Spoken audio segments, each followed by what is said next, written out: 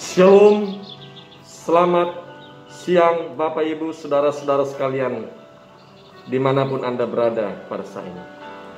Senang sekali saya Loran Wilson Napitupulu pada kesempatan yang berbahagia ini datang menyapa Bapak Ibu untuk menguatkan, untuk memberikan firman Tuhan yang akan menjadi berkat bagi kita semua.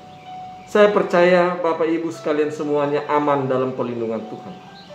Saya percaya doa-doa kita senantiasa menguatkan kita, melindungi kita, dan meneguhkan kita di masa-masa pandemi COVID-19, virus corona yang mencekam saat ini. Saya rindu membawa kita kepada sebuah kisah Daud melawan Goliat. Kisah yang biasa kita dengar sejak kita kecil selalu diperdengarkan. Kisah heroik seorang anak remaja, seorang yang masih muda melawan Goliat yang begitu perkasa, raksasa dan yang diandalkan oleh orang-orang Filistin. Saudara dapatkan kisah itu di dalam 1 Samuel 17. Satu pasal itu mengkisahkan bagaimana bangsa Israel ketakutan ketika mereka tahu bahwa orang-orang Filistin sudah berkumpul di Soko di tanah Yehuda. Saudara baca di dalam 1 Samuel 17 ayat 1. Sehingga mereka juga berkumpul di lembah Terbantin mereka siap-siap mengatur barisan untuk berperang dengan orang-orang Filistin. Tetapi Raja Saul pada saat itu begitu cemas, begitu takut oleh karena orang Filistin mempunyai seorang yang hebat yaitu Goliat. Mereka ketakutan saudara-saudara. 40 hari lamanya dalam firman Tuhan katakan Goliat ini ngoceh mengejek, menghina, merendahkan motivasi daripada tentara Israel saat Saudara-saudara, singkat cerita. Daud disuruh oleh ayahnya Isai untuk mengantarkan perbekalan makanan dan untuk menanyakan bagaimana ketiga abangnya yang ikut serta dalam peperangan itu, yaitu Eliab, Abinadab, dan Syam. Jadi Daud berada di lokasi itu bukan karena dia ingin berperang. Tetapi karena Isai, bapaknya menyuruh membawa perbekalan makanan dan menyuruhnya menanyakan bagaimana kabar tiga abang daripada Raja Daud. Karena Daud adalah seorang penggembala, dia anak yang bungsu, saudara-saudara. Sehingga oleh karena dia masih remaja, badannya pun tidak kokoh, tidak kuat seperti abang-abangnya, tidak gagah, maka dia pekerjaannya hanyalah penggembala ternak daripada ayah. Singkat cerita, Daud berangkat. Dan dia bertemu dengan abang-abangnya. Tetapi pada saat dia bertemu dengan abang-abangnya, di dalam 1 sampai 17 katakan secara singkat, dia mendengar kata-kata Goliat yang menghina dari bangsanya sendiri, yang menghina tentara Israel pada saat itu. Daud mendengar, emosinya naik, rasa percaya dirinya naik, dia merasa bahwa nama Tuhan dihina. Kemudian singkat cerita, dia menyampaikan keinginannya kepada Raja Saul untuk berperang, untuk mengalahkan Goliat pada itu. Saudara-saudara ketika dia bertemu dengan Raja Saul, maka seperti biasa saudara-saudara. Raja Saul heran. Dia sudah melihat tentara-tentaranya gagah perkasa ciut tidak berani mengalahkan Goliat. Kemudian dia melihat Daud yang masih muda kemerah-merahan katanya. Yang tubuhnya masih belum seperti kuatnya tentara-tentaranya yang perkasa Kemudian dia mulai meragukan. Dia mencoba mengurungkan niat daripada Daud. Tetapi saudara temukan kesaksian daripada Daud dalam 1 Samuel 17 ayat 34 sampai 37. Tetapi Daud berkata kepada Saul, hambamu ini biasa menggembalakan kambing domba ayahku. Apabila datang singa atau beruang yang menerkam seekor domba dari kawanannya, maka aku mengejarnya, menghajarnya, dan melepaskan domba itu dari mulutnya. Kemudian apabila berdiri menyerang aku, maka aku menangkap janggutnya, lalu mengajarnya dan membunuh. Daud meyakinkan Saul bahwa dia sudah terbiasa berperang sekalipun mengalahkan singa, serigala yang mengancam kambing domba milik ayah. Dia mencoba meyakinkan Raja Saul bahwa sebagaimana kalau saudara baca di ayat ke-37 inilah kesaksian yang luar biasa. Pula kata Daud, Tuhan yang telah melepaskan aku dari cakar singa dari cakar beruang. Dia juga akan melepaskan aku dari tangan orang Filistin itu. Kemudian kata Saul kepada Daud, pergilah Tuhan. Saudara, ada pelajaran yang bagus dari kata-kata Daud di sini. Bahwa dia selalu mengekspresikan, dia selalu mengambil kesimpulan. Bila dia selamat, bila dia lepas dari maut, ketika dia menggembalakan kambing domba. Dia selalu beranggapan bahwa Tuhanlah yang telah melepaskan. Ini pelajaran penting bagi kita saudara-saudara. Di tengah-tengah manusia yang banyak sekarang yang sedikit-sedikit dirinya yang dia tonjolkan. Dirinya yang dianggap mampu, dirinya yang dianggap bisa. Kalau ada keberhasilan dia menganggap dirinya lah yang berhasil. Bukan campur tangan Tuhan. Tapi pelajaran ini mengingatkan saya saudara-saudara Jangan pernah berkata, ini karena aku bisa seperti ini. Karena aku maka aku kaya. Karena aku maka jabatanku tinggi. Karena aku maka aku bisa punya uang banyak, punya rumah di mana-mana.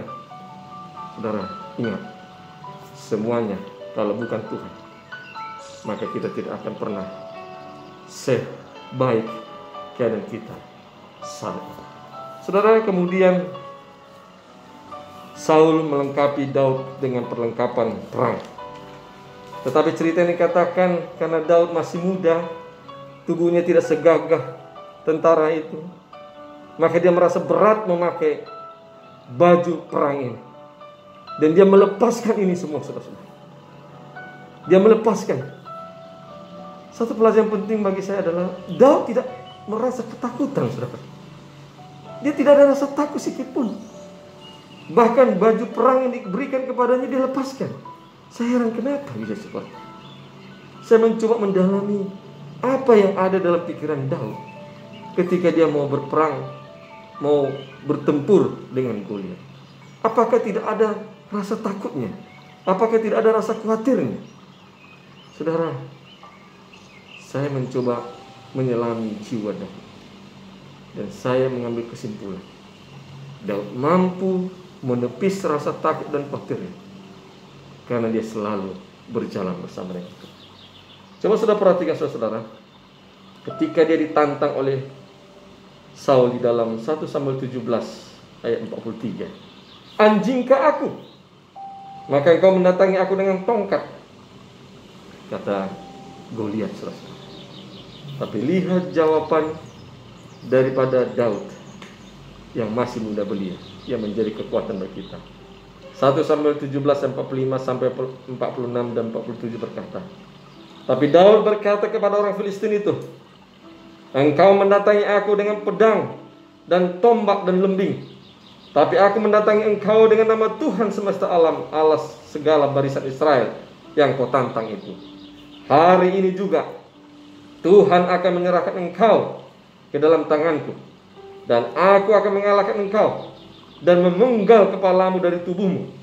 Hari ini juga aku akan memberikan mayatmu dan mayat tentara orang Filistin kepada burung-burung di udara dan kepada binatang-binatang liar supaya seluruh bumi tahu bahwa Israel mempunyai Allah dan supaya segenap jemaah ini tahu bahwa Tuhan menyelamatkan bukan dengan pedang dan bukan dengan lembing sebab di tangan Tuhanlah pertempuran dan ia pun menyerahkan kamu ke dalam tangan kami. Saudara, saya melihat iman yang besar dari Daud.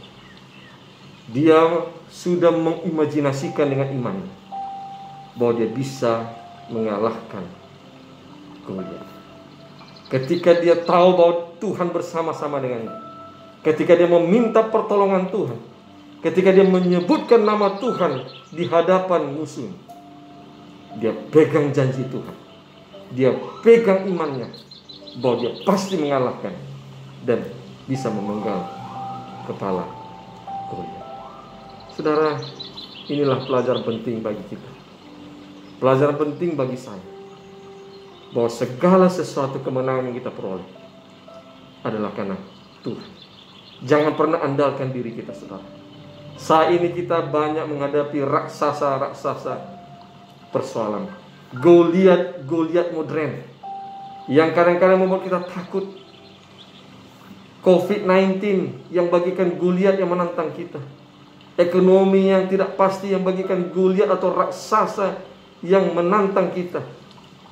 Saudara, mungkin saudara sedang mengalami sakit sehingga sakit itu seperti Goliat yang menakutkan saudara-saudara. Mungkin saudara mengalami di mana anak-anak menyakiti hatimu, memilukan hatimu sehingga kau merasa bahwa anak-anak menjadi Goliat masalah besar dalam hidupmu.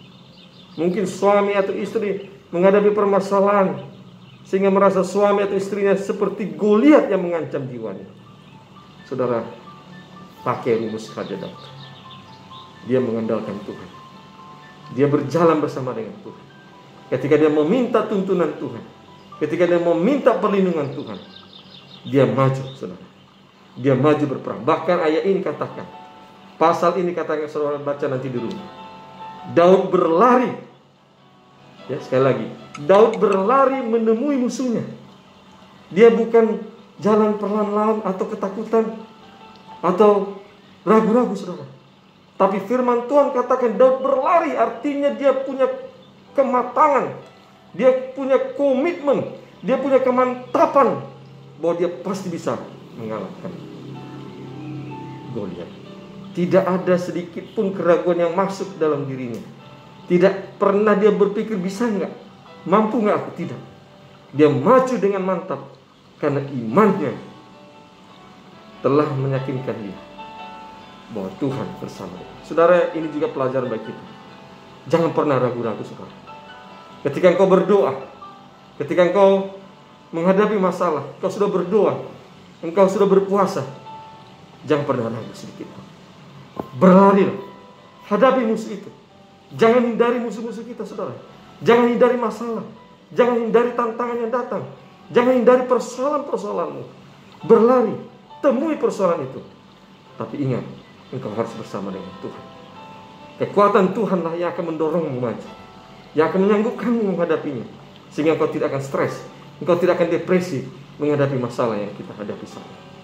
Saya percaya firman Tuhan ini akan menentukan kita bahwa Allah bangsa Israel, Allahnya Daud yang sudah mengalahkan Goliat itu adalah Allah kita yang sama sama yang akan memampukan kita untuk berperang dan mengalahkan Goliat-Goliat permasalahan dalam hidup kita. Dan kita akan bisa memenggal kepala Goliat-Goliat modern itu dan menyerahkannya kepada Tuhan bahwa kita telah memenangkan pertempuran Kiranya firman Tuhan ini meneguhkan kita semua. Allah bersama dengan kita. Tidak ada yang perlu kita takutkan. Tidak ada yang perlu kita khawatirkan. Mari kita selalu berserah bergantung kepada Tuhan. Hadapi masalah. Jangan hindari. Karena Tuhan bersama-sama dengan kita. Kiranya Tuhan memberkati kita semua. Shalom.